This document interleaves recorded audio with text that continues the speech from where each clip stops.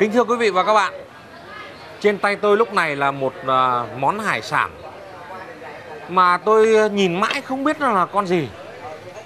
Qua nghiên cứu rồi là internet rồi hỏi những à, thực khách sành ăn à, hải sản thì mới biết đây là loại gọi là cồi điếu. Cồi điếu là tôi cũng không biết là con gì nữa. À, trông nó giống như con san hô và giống như một con ốc à, rất là lạ Thế và món này thì à, được thực khách à, sành ăn nói là có thể chế biến được nhiều món Ví dụ như là hấp này hay là nướng này hay là xào hoặc là nấu cháo. Nhưng mà ngon nhất của nó thì lại là ăn sống và uh, nhúng vào uh, nước lèo. Ở trong miền Nam thì gọi là nước lèo Còn uh, miền Bắc của mình thì gọi là nhúng vào nước dùng. Thế không biết là món này ăn như thế nào? Thì bây giờ xin mời quý vị và các bạn hãy cùng Quang Thắng theo dõi xem Đây là mình ăn nó như thế nào và chế biến nó như thế nào nhé. Xin mời quý vị.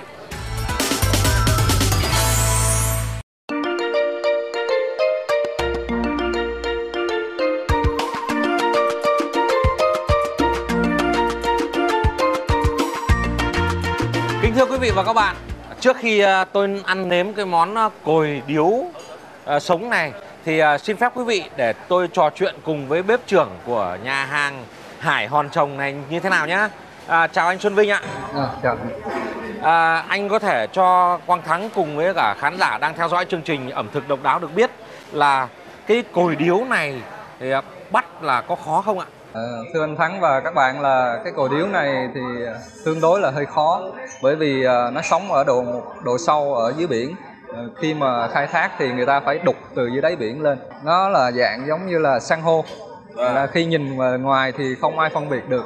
Nhưng mà trong đó thì ở phía trong thì nó có một cái cồi. Ờ, cái cồi nó sống như một con ốc. À, một đầu nó thì cái san hô này một đầu thì nó bít lại còn một đầu thì là nó nó mở ra cái miệng sống của con cồi điếu. Thế thì cái chất bổ dưỡng của nó thì so với hầu với cả con này thì chất bổ dưỡng của con nào tốt hơn ạ? Theo cái cảm nhận của mình thì khi mà mình phát hiện ra cái con này á, thì mình ăn nó cảm giác nó ngon hơn con hàu. Ngon hơn hàu? Vâng. Về hàu nó nhũn dạ. còn thịt con này nó giòn à, hơn. nó giòn nó... à. anh Xuân Vinh này thế em muốn hỏi là khai thác con cối điếu này có dễ không ạ? À, tương đối là tương đối là khó. Dạ. bởi vì cái độ sâu của nó là sống khoảng từ 15 đến 20 mét. Ui ôi 15 đến 20 mét cơ? À, được biết là cái con này ấy em đọc trên mạng ấy nó nói là nó có một cái chất để tiết ra. Thì à, ví dụ là môi trường nào thì nó tiết ra cái cái cái cái màu của vỏ của nó giống như môi trường như thế. Ví dụ như nó sống ở đá thì nó sẽ tiết ra cái màu giống như đá. Còn à, sống ở à, gần rong biển thì nó tiết ra cái cái cái rất giống rong biển. Và sống ở san hô thì nó lại tiết ra cái màu rất giống san hô. Đây, như quý vị đã nhìn thấy đây, là nó rất là nhiều màu khác nhau. Và bây giờ anh cùng thưởng thức với Quang Thắng cái món này và mình ăn ờ, sống xem nó như thế nào. Cái con cò điếu này khi mà mình lấy về thì mình phải mổ nó ra.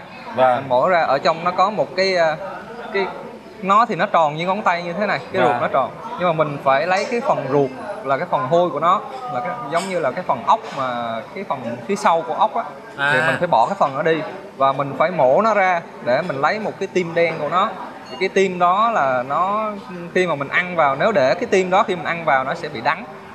À, nó có cái độ nhẫn nhẫn đắng đắng thành ra mình phải bỏ nó đi. Thì à.